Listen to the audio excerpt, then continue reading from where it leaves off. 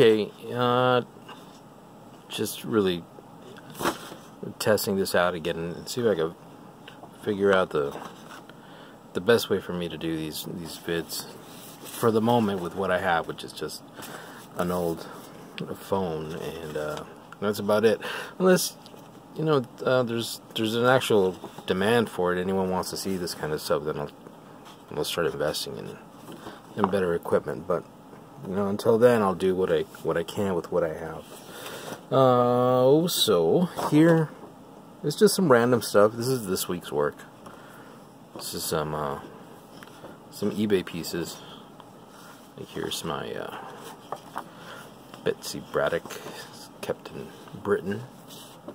This is just inks and and markers, Copic markers, which have gotten really expensive. At least the refills have. So now you pay as much as you were paying before for for half of what you were getting. That sucks. Uh, here's a Wonder Woman. Just inks on uh, mixed media paper. I like this tan paper. It's kind of cool. It's another Catwoman. I think the video was about this one the other day.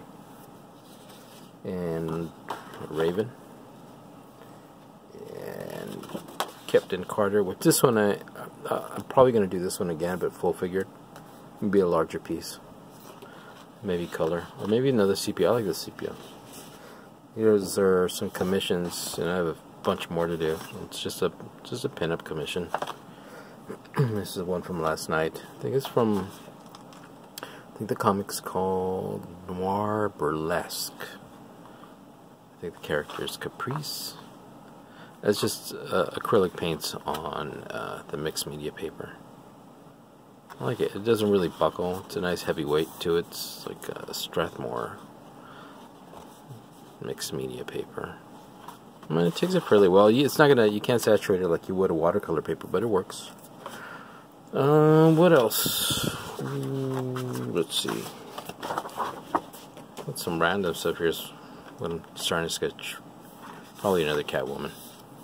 And then I have to get back to work on commission stuff because I've got a few I have to finish and try to finish them all this weekend. Just a lot of work. Here's just one of my sketchbooks, which I don't. Let me preface this by saying that there's no cohesion in any order to what I do. It's just random stuff. Like I'll get a sketchbook and I feel like sketching something.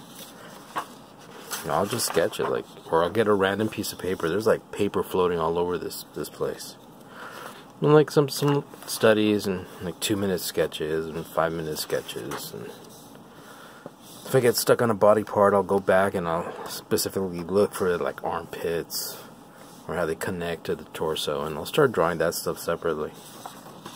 It doesn't matter because I'll forget how to do it and I have to do it all over again. Um, some kind of blowfish. I don't know. It's an octopus kind of like them monster fish. This is something I was putting on a t-shirt. Actually, most of these I think I was going to do on a t-shirt. That blowfish again.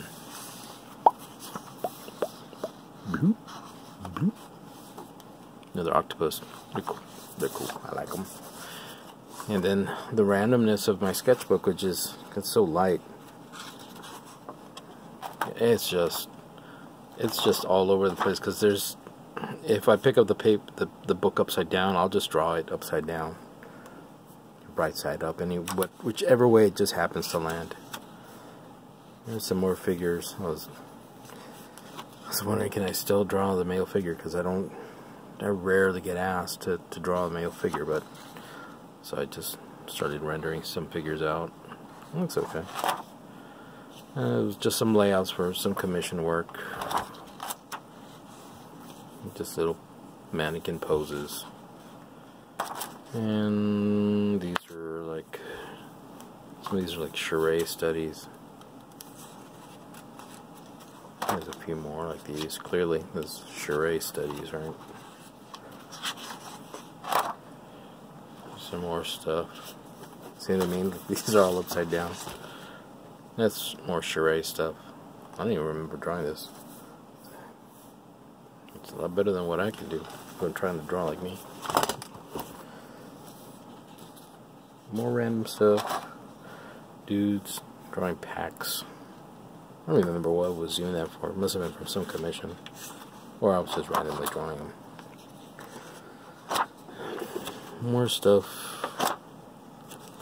Whenever I draw just for myself, everything I draw is cartoony. And then when I draw for someone, it changes. But whenever I draw a girl in, in my sketchbook, it's always cartoony.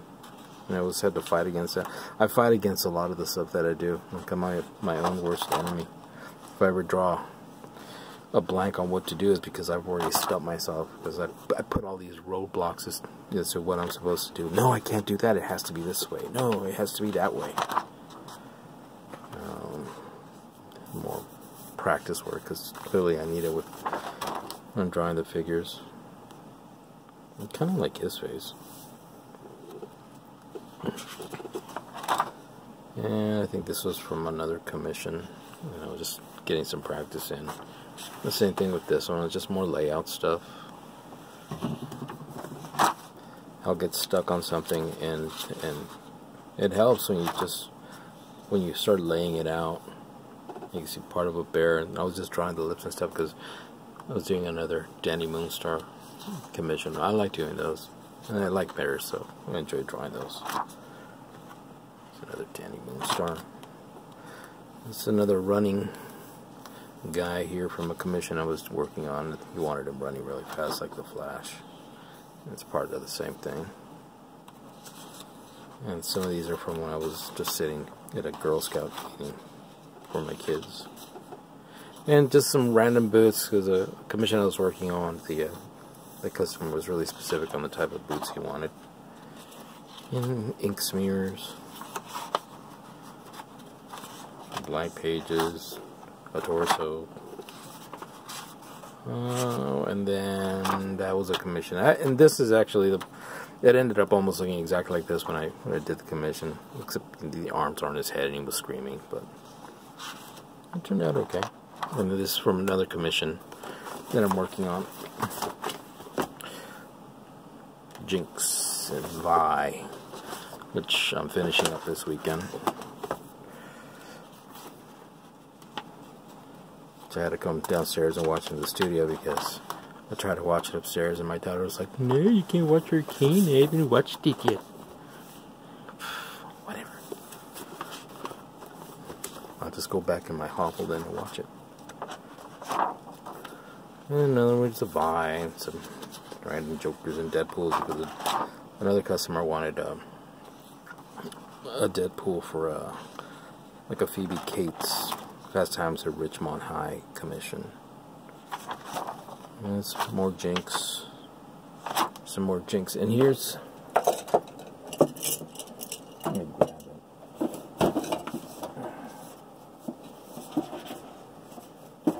So here's a commission. Here's the front cover. Here's Vi. That's what I'm coloring this weekend. And then the back cover is done. And there's the uh, the Jinx piece. It's all acrylic paints. No markers. These covers tend to be really, really slick. Um, some better than others. The worst ones I've had won't even hold an ink line. You'll ink it and then touch it 10 minutes later and the thing just wipes off. So what I found best works for me is just to paint them. Acrylic paints very thin layers, not too wet, because you know it does buckle. I mean, it, it warps. There's no real buckling per se, but but there's clearly a a warp. But it does not really. It's it doesn't damage the book uh, at creases or anything. But that's how I found uh, works best for me for these covers, and then I don't have to deal with. Is it going to take the marker? Is it going to take the inks? Because I've had those where I've just almost uh, done with the inks and I'm getting ready to, to, to, color it and finish it up and then I'll pick up a marker and it just just starts to beat up all over the paper and what I thought was going to take a day to finish ends up taking several weeks so I had to try to figure out what I am doing or how I'm to fix it. This is, was for a, a Velma Dinkley commission. Um, and like there's random stuff here because taste of the wild. For I'm writing down the percentages of of calcium in my my puppy's uh, dog food because he can't have too much calcium because it grows too fast. And some more like figures and mannequins and stuff. And it's just really random.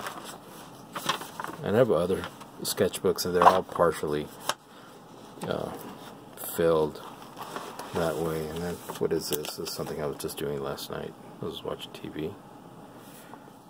And uh, that's the last thing. Someone someone wants a Hellboy, so I started sketching out Hellboy today. And then I was watching Jackie Brown and started sketching out Sid Haig. Um, and I think that's that's good for now. I mean, as far as, as testing and seeing what the audio quality is on my phone, this works. Um, should I give you a tour of my studio? Well, there's not much here. Some supplies here and some other stuff there. And it's usually a mess once I'm working. So, if you guys want to see more of this stuff, let me know. And I'll see what I can post.